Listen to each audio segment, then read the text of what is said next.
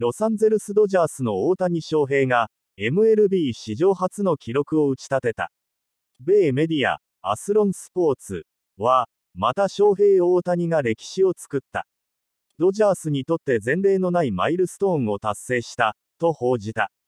動画、大谷翔平のシーズン44号アーチをチェック。大谷は8月22本塁打と失敗なしの15盗塁を記録。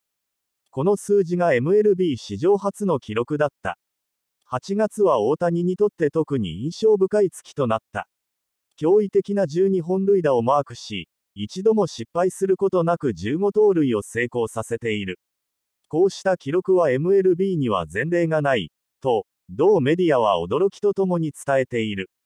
8月の本塁打数と盗塁数は、いずれもリーグトップ。同メディアによると、本塁打数と盗塁数の両方で月間リーグトップになったのは、1956年9月にウィリー・メイズが達成して以来、68年ぶりの記録。